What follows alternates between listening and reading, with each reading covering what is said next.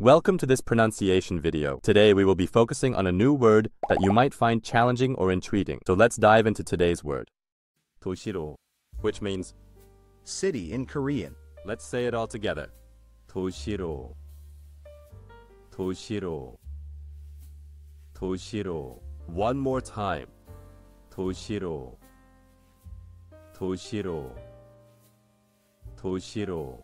Thank you for joining us on this adventure in pronunciation. Remember, language is a journey, not a destination. Keep exploring, experimenting, and expanding your linguistic horizons. We'll see you next time.